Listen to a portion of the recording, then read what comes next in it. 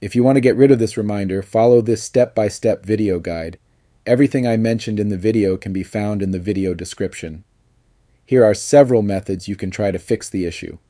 First, type command prompt in the Windows search bar.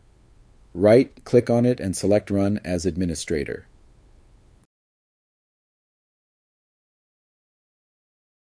Enter this command and press Enter. Close this window. Restart your computer. If the first method doesn't work for you, then follow this method. Search for command prompt in the Windows search bar. Right-click on it and select Run as administrator. Enter this command and press Enter. Close this window. Restart your computer.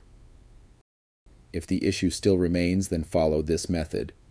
Search for command prompt in the Windows search bar. Right-click on it and select Run as administrator. Enter this command and press Enter.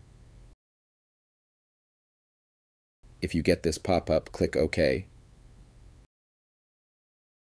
Enter this command and press Enter. If you get a pop-up like this, click OK.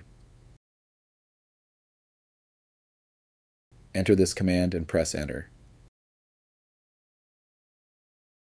If you get this pop-up, click OK. Close this window. Restart your PC. If none of the above works, try this method. Search for Registry Editor in the Windows search bar. Right-click on it and select Run as administrator. Expand HKey current user. Expand control panel. Expand desktop. Click on desktop. Select Paint Desktop version. Right-click on it and select Modify. Set the value to 0 and click OK.